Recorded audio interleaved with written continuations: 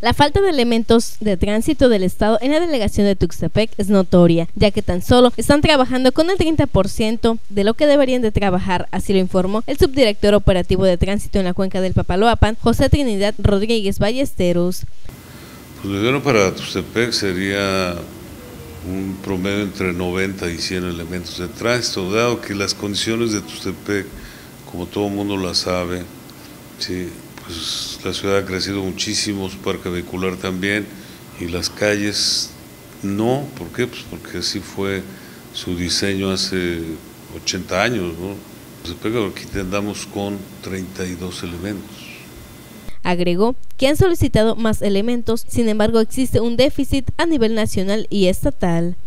Sí, el problema es este es, eh, ¿qué le puedo decir? Un problema hasta, podríamos decir, nacional, ¿no? Porque se han dado de baja a muchos elementos por no pasar los exámenes de control y confianza.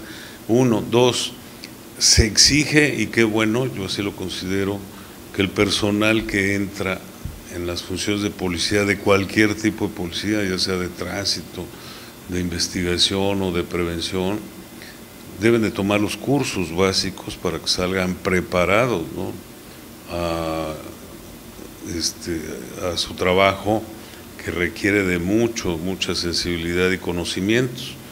Señaló que ante este problema que enfrentan, cuando hay operativos como ocurre en este fin de semana, los más afectados son los propios elementos. Mira, el, trata uno de cumplir hasta donde más se pueda, ¿no?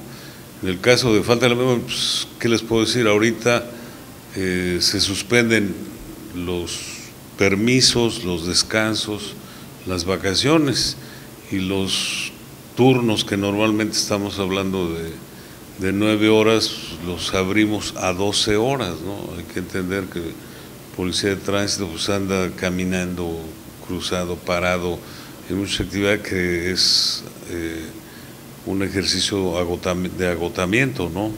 En cuanto al operativo que están realizando en estos momentos, aseveró que van a realizarlo con alcoholímetro. Con imágenes de David Barahona, informó Dora Timoteo.